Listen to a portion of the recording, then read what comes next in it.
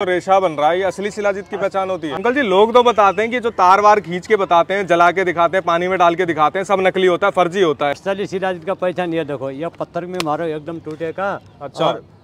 पानी में डालो पानी में तार छुड़ेगा। ये और खींचो बाल की तरफ़ रेशा बनेगा ये देखिए माल की तरफ़। तो रेशा बनाने वाला लोग कहते हैं कि चीनी का होता है उसका रेशा बनता है। बनने वाला आदमी हर एक आइटम बनता है सोना को भी मिट्टी बनता है मिट्टी को भी हीरा बनाता है। जीने की बात नहीं है ये पहाड़ की शिलाजी दो ध्यान करी खाओ ध्यान करके फ़ायदा करो। एक महीना कोटा पंद्रह दिन कोटा खाओ और लगातार खाओ। आपके पेट की गैस की दिक्कत से दिया है कब्जी की दिक्कत से दिया है तो पानी से यूज़ करो। जिसी को मर्दाना ताकत की कमी है दूध के साथ यूज़ करो। और रेगुलर खाओ उसी लगी फ़ायदा होती है भाई साहब। और क्या पहचान होगी? पहचान बताओ थोड़ा सा पहचान बाबू जी देखो पानी में डालो पानी में एकदम आपका रिश्ता बनेगा सर ये रिश्ता की बात है। रिश्ता में पानी में डालो एकदम पानी साफ़ सुथरा है। ये पानी में बिल्कुल रिश्ता बन जाएगा। दिखाना एक बार। पानी में लाइन चलेगा सर पानी में लाइन चलने के बाद जैसे पानी इधर इधर साफ़ रहेगा। वैसे शरीर में पानी चलता है ना ऐसे लाइन चलेगा वैसे शरीर के नशे नशे में लाइन चलेगा सर। तो ये जो रेशा बन रहा है ये असली शिलाजीत की पहचान होती है? असली का तो लोग तो कहते हैं जो चीनी का होता है उसमें रेशा बनता है। वो चीनी का नहीं होता सर ये पत्थर का पसीना होता है। एक पक्की होती है सर एक कच्ची होती है। कौन सा शिलाजीत है ये? ये पक्की है। पक्की हो गया ये? कच्ची हो गया। दोनों में अंतर क्या होता है? दोनों में एक आता है पत्थर कंकर को पिका के साफ़ किया जाता है ये डायरेक्ट निकला होता है पहाड़ से बेलता है वही चीज़ है। ये देखो भाई एक और पहचान बताएँगे।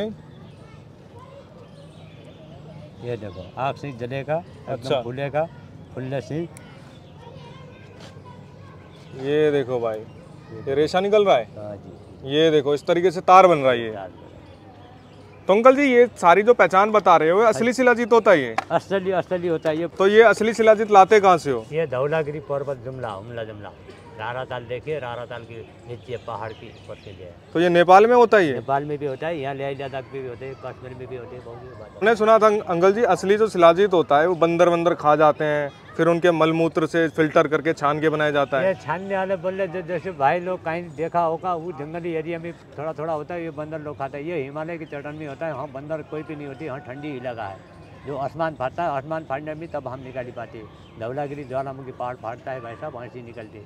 उसको मेहनत लगाना पड़ता है। आजकल जैसे हम गर्मी के मौसम में निकाल के रखते हैं बाबू। यही है। तो आप लोग असली शिलाजीत बेचते हो? असली बाबू जी असली प्योर और हम कैसे यकीन माने?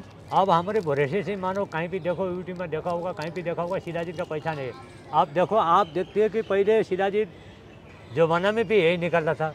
अभी भी यही देख रहे हैं मेरे पास शिलाजीत। अब आजकल तो हर एक यूट्यूब में देखता है कहाँ क्या होता है क्या होता है वो शिलाजीत नहीं है। शिलाजीत का नाम है। ये अंकल जी लोग तो बताते हैं कि जो तार वार खींच के बताते हैं जला के दिखाते हैं पानी में डाल के दिखाते हैं सब नकली होता है फर्जी होता है। नहीं नकली चीज़ नहीं होती भाई साहब ये नकली चीज़ नहीं है। ये नकली चीज़ होगा तो मुझे टोपी लगाएगी तो आदमी नहीं होगा। जब पाँच मिनट टकता है तो पच्चीस मिनट का फ़र्क रहेगा एकदम टका जो आपका शिलाजीत खाएगा। हाँ खाएगा ये। पक्की बात है? पक्की बात है। तो भाई अंकल का नंबर स्क्रीन पे डाल दूँगा। किसी भाई को अगर असली शिलाजीत लेना हो तो फ़ोन करके शिलाजीत मंगवा सकता है। पक्की बात है अंकल? पक्की बात है।